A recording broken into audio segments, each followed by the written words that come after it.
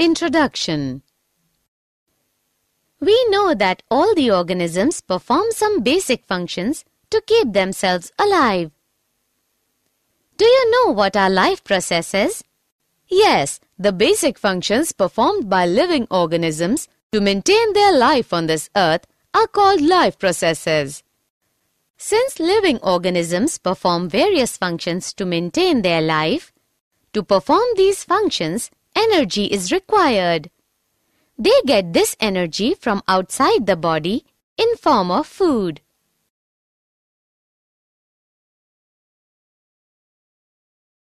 Objectives At the end of this lesson, you'll be able to define life processes, identify types of life processes, understand the nutrition, understand autotrophic nutrition, understand heterotrophic nutrition, find the types of heterotrophic nutrition,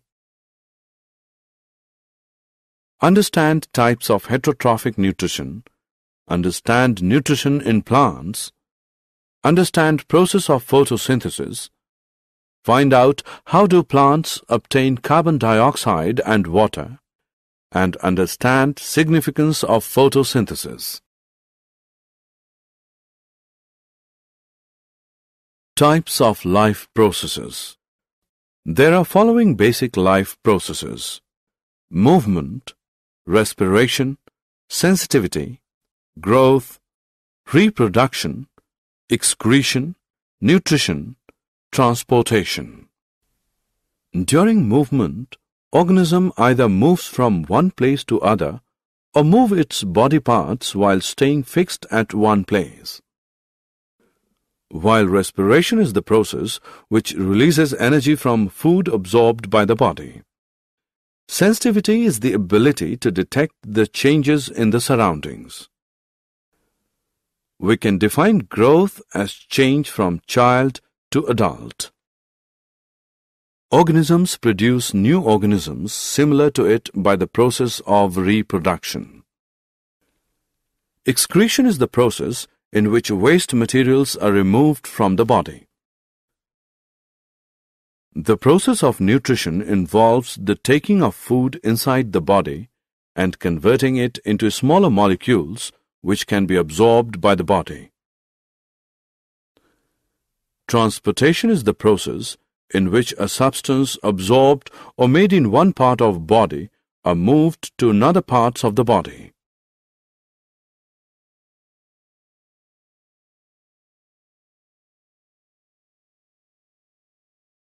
Nutrition As we have discussed earlier that all living organisms perform various functions to maintain their life. To perform these functions, energy is required.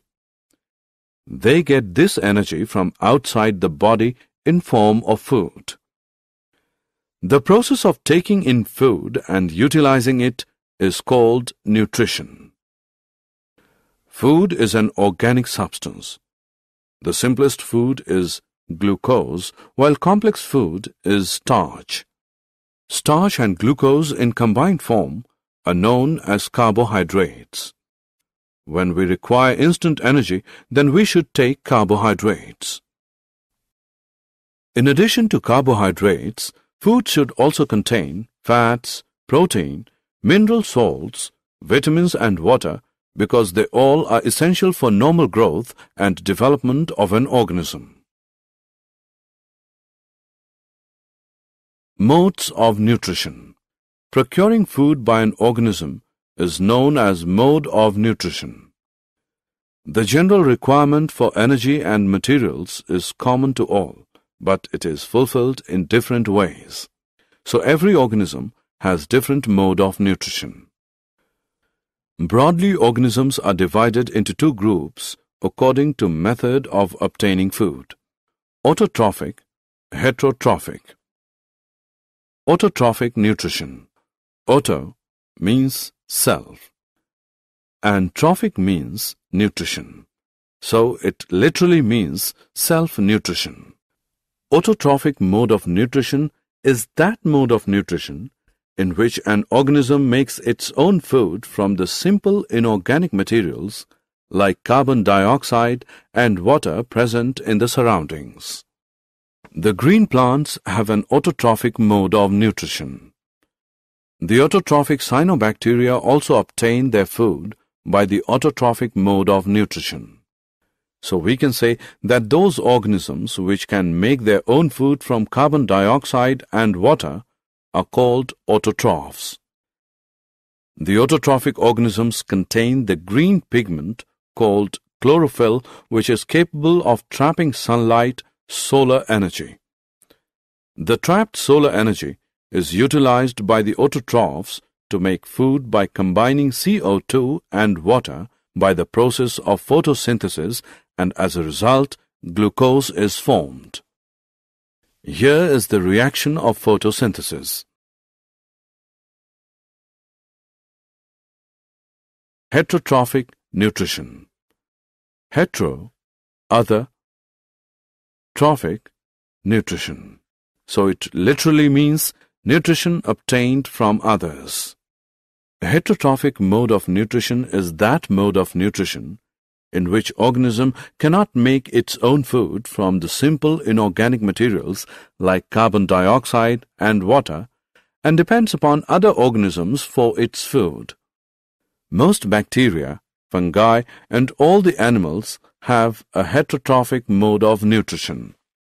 Those organisms which cannot make their own food from inorganic substances like carbon dioxide and water and depend on other organisms for their food are called heterotrophs. A heterotroph is a consumer which gets its nutrition from other organisms. That is, heterotrophs depend on autotrophs and other heterotrophs for their food.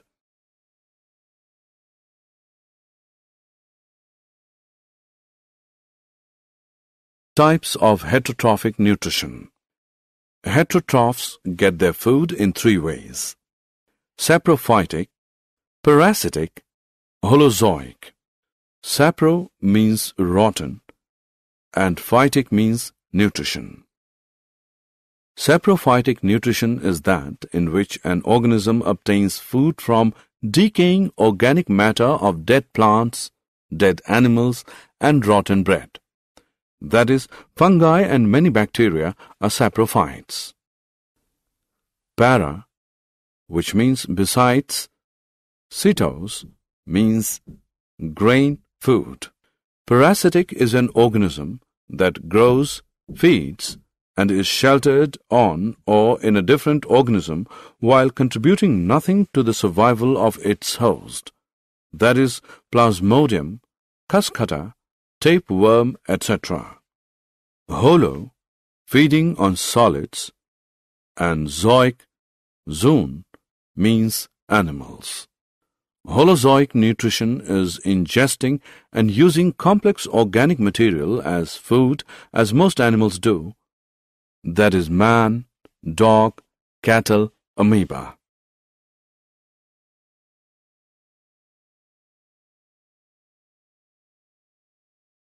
Nutrition in plants As we have already discussed that green plants are autotrophic and synthesize their own food by the process of photosynthesis.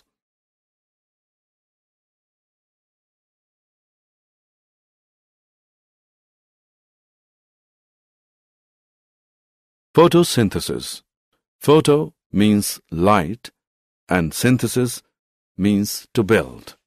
Thus, photosynthesis means building up food with help of light.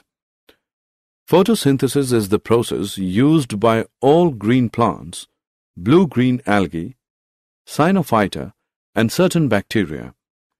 It is the synthesis of organic compounds, primarily sugars from carbon dioxide and water, using sunlight as the source of energy, and chlorophyll for trapping the light energy.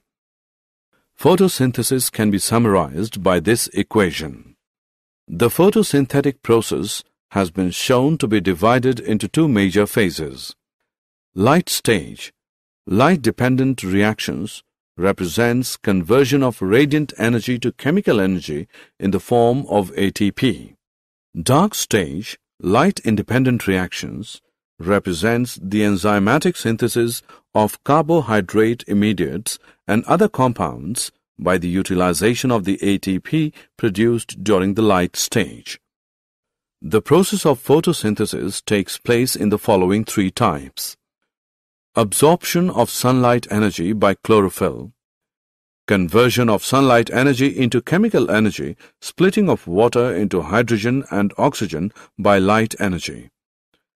Reduction of CO2 by hydrogen to form carbohydrate like glucose by utilizing the chemical energy. Intake of water. The water required by the plants for photosynthesis is absorbed by the roots of the plants from the soil through the process of osmosis. The water absorbed by the roots of the plants is transported upwards through xylem vessels to the leaves, whereas it reaches the photosynthetic cells and is utilized in photosynthesis.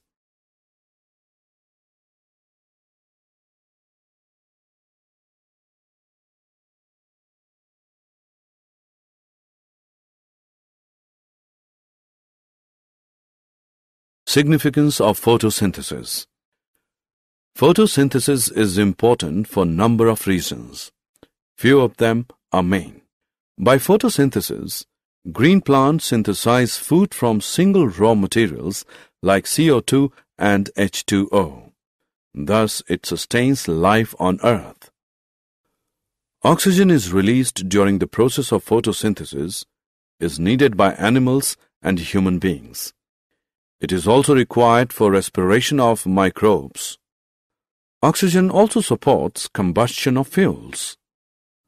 Fossil fuels like coal, oil, and natural gas are forms of stored solar energy synthesized by photosynthesis millions of years ago.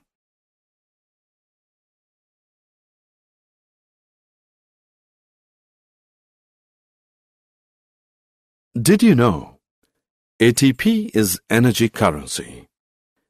Leaves are green because they fail to absorb green light of visible spectrum which is reflected.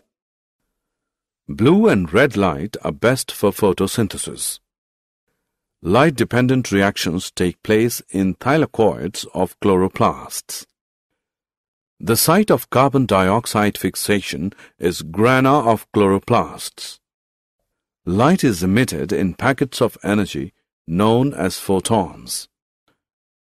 The splitting of water is known as photolysis.